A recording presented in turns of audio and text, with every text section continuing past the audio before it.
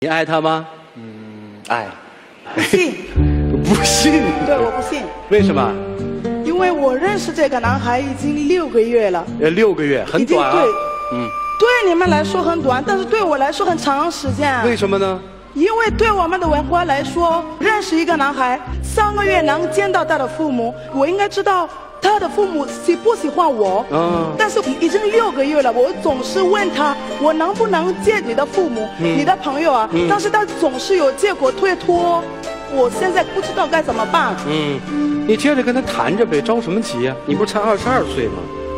我想知道我们谈我们现在谈恋爱的是，就是一段的时间，还是我们会啊永远在一起的？哦，我我我帮你问啊，你当然是想一起能够走到一辈子呀。啊，他说的话我真的根本都不信，你知道吗？呃，必须要见到他父母你才能信是吧？对，不要我跟你说一件事，在我们的在我们的国家，你站那儿说就行你你别别动，我啊再跟你说，说这样嗯嗯，就是念好的事儿。啊就是说打招呼的事儿。嗯如果我们在那个朋友在的地方，他会拒绝，就说你你难道你你没有看到别人吗？嗯这是抱抱的事，我我感我感啊觉他好像不好意思让他的别人知道我是他的女朋友。啊，你的意思是说，在一些这个公开的场合和场所，他没有在肢体上面表达出来你是他女朋友。对，就是。你觉得他对你不够真心？对对对，不够不够不够，这样一点儿都不够。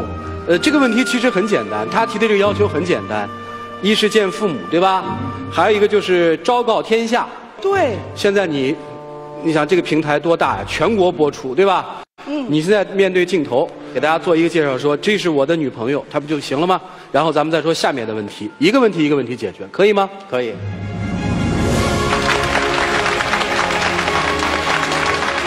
啊她是我的女朋友。啊，你看他说的就是普通的，我可以说这个是我的弟弟，怎怎么确认呢？怎么确认呢？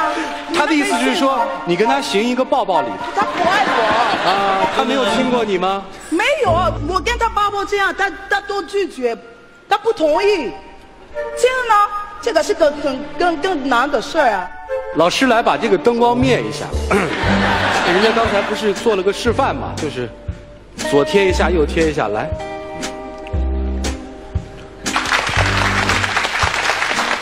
您您回来吧。你就觉得他他对你不热情是吧？对他，他一点都不热情，你知道吗啊？那你喜欢我现在很难过了，啊，你难过？你喜欢他吗？我非常非常喜欢他。你们俩这个男女朋友是怎么确定关系的呢？他以前是我的经纪人，活动完了之后，我们当朋友，互相练练练练习啊。他给我打电话说：“罗瑞，我现在好像我对你有点感情，不知道你你会不会同意？但是我告诉你，如果你准备好同意我的时候，你就告诉我就可以。啊我已经同意了他。啊也，就是这样，我所有的朋友都都认识，嗯，所以我他在我也有介绍的，什么？我也有介绍给把你介绍给我的朋友啊。哪给我介绍啊？没有说过是你的女朋友。难道你那那我你总不能满处地忘了吗宣扬说哦这是我的女朋友这是我的我媳妇啊说朋友，我告诉你，我已经跟我妈妈说过了。我妈说，国家的问题啊，文化的问题，我无所谓。如果你幸福，我也幸福。嗯，就是你妈妈已经祝福你了。对，你你跟你妈说了吗？